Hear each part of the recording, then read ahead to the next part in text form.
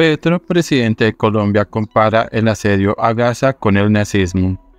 Con este titular, France 24 titula Los comentarios del presidente y la posición frente al conflicto entre Palestina e Israel.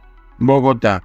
El presidente de Colombia, Gustavo Petro, comparó el lunes los ataques de Israel contra Gaza en represalia por los ataques mortales del grupo militante Hamas con la persecución nazi de los judíos. En respuesta a una declaración del ministro de Defensa israelí Joab Gayan, anunciando un asedio completo de Gaza en una lucha contra los animales, Petro dijo, esto es lo que los nazis dijeron de los judíos.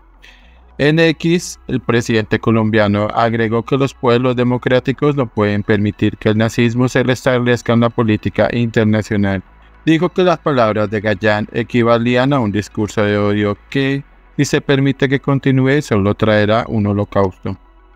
En un mensaje de video, Gallán anunció que Israel estaba poniendo un asedio completo a la franja de Gaza y sus 2,3 millones de habitantes, lo que según dijo significaba sin electricidad, sin alimentos, sin agua, sin gas. Estamos luchando contra los animales y actuamos en consecuencia, afirmó.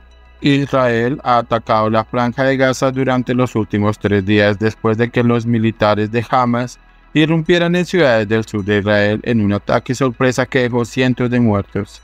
Decenas de personas fueron tomadas como rehenes. Se cree que dos de ellos eran colombianos.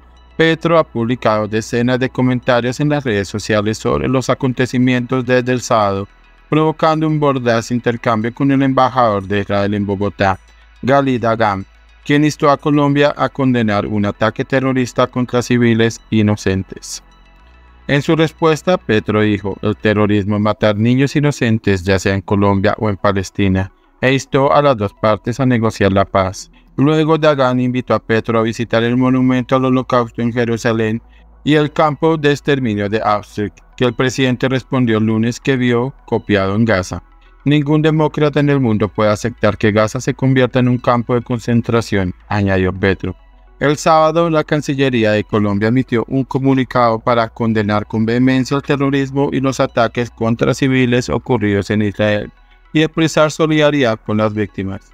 Desde entonces, el enlace a esa declaración ha sido desactivado con una nueva declaración de condena que no hace ninguna mención al terrorismo.